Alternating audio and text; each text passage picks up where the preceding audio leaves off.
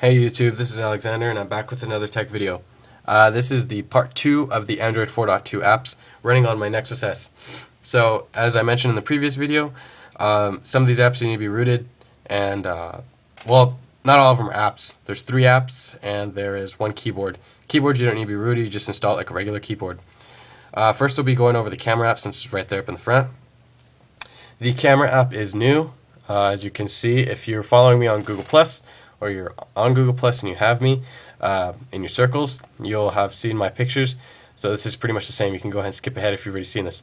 But here you have your options to you know toggle the flash. You can hold anywhere on the device and it'll go ahead. Since the screen on the Nexus S is kind of smaller and the resolution is is lower, there'll be less you know actual space for you to to tap this and still have things in the window. As you can see here, kind of they kind of get knocked off the screen. Not a big thing. Uh, you have your switch to the front facing camera, hey, then you can go back and you have your exposure down here. You have your settings, uh, focus mode, you can change that to auto, infinity, macro. Picture size, 5 megapixels, you can change that. Store location and scene mode. Now some of these you do have to press a little bit more than one, uh, a little more than once, uh, which isn't a big deal since I don't, uh, I personally don't go on there all that often. Um, then here you have your white balance to change the scenes, you know. Uh, I guess this is light on. Uh, some of these are hard to tell. Auto, sunny, cloudy, I don't know what that one's for. If you want to go ahead and leave a comment down below, that'd be nice. Um, so those are your options. You can also toggle them from this little thing right here. It's not quite, eh, it's like a new settings or menu button. Okay, then you have your camcorder or your video camera. You can go ahead and hit the play button and it record. It should record just fine. Now when you tap the screen is where it gets a little weird you tap the screen on what it's supposed to do is take a picture. Now, since it's trying to take a picture and record at the same time, it's probably not going to work out too well considering the old hardware of the Nexus S.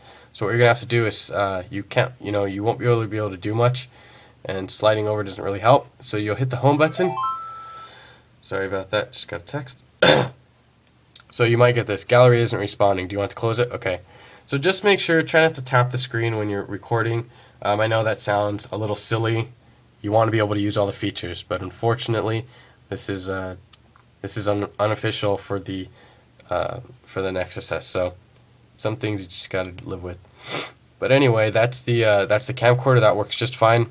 Panorama mode um, has been here since I believe Ice Cream Sandwich. Um, and so we got that. It's still the same. There's no touch options or anything like that. Nothing up here. You just swipe left to right or right to left, take your panorama. Now this one is the 360 panorama photosphere type thing. um, for this to do it, you will just go ahead and line up that blue dot. Now I won't actually do it because it won't come out that great, but I will show you a uh, picture. Uh, no, you know what? What the heck? I'll go ahead and take a few pictures. So you just line that blue dot up, and then if you have the volume on, you can hear it. It'll be taking pictures. Um, and then if you go too fast before it's able to catch the picture, it'll tell you it's going too fast. So let me try and do this.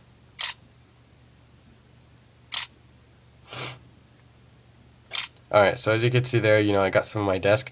You'll hit that stop button right there on the right hand side and it'll swipe off.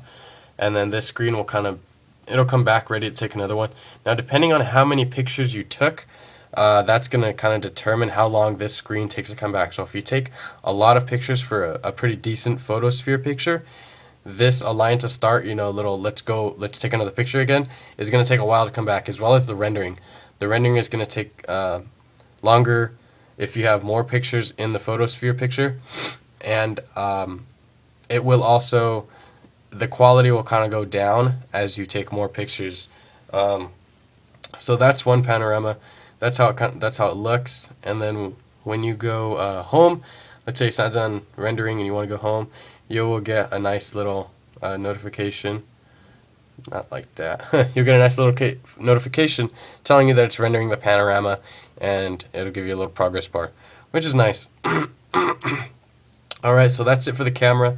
Uh, another thing to note is when you're using the 360 panorama or the photosphere, it will take a while for other things to open. Like you can see my app drawer uh, here is you know, kind of slow because of that. It's trying to take a lot of processor power to render that photo. Now here you have your new gallery. Excuse me. Um, let's go back into the camera, and I took a photosphere picture earlier that looked pretty good. Um, this was taken with my Nexus S uh, about an hour ago or so, maybe less. so you can see there, it looks really nice actually on the Nexus S. I know it's not really coming through on my iPod Touch, but it does actually look nice. You can see some of it kind of gets messed up. That's not really how it's supposed to be. Um, things in the photo up here, it's nice and clear, and then over here it kind of gets a little fuzzy. Nothing, nothing you can really complain about considering this isn't even technically uh, made for the Nexus S, but you can go ahead and scroll around. Let me try and get that. You can go ahead and scroll around, look at the building, look at the flowers and the plants and things like that. It's it's really nice. Um, you see the sun. You can zoom in. Um, so as you zoom in, though, of course, it's going to get really blurry and things are going to just, it's not going to look good. But it is a nice photosphere, um, especially for it being on the Nexus S. Now, uh, excuse me, come down with something. Um, let's go and take a look at this photo here. And you can see this new little three circle button down there. You got new editing options. This kind of covers the gallery. Um, we got new editing options. So you can see we got punch, uh, uh, vintage. These are just uh, filters. We got latte, uh, blue. If I'm butchering any of the names, you guys can let me know. Uh, instant. Then we can go ahead and put a picture frame make that look real nice. Um, something maybe like that. We can go ahead and crop, straighten, rotate, uh, mirror. So these are kind of was already there. Icons just look different. Straighten, you'll notice if you install this, uh, the S and T are off the page and there's you can't scroll over anymore. Just a minor thing. The the function actually still works, so don't worry about the functionality of it. Um, if you turn it into landscape mode though, it'll it'll go back and you'll be able to see everything.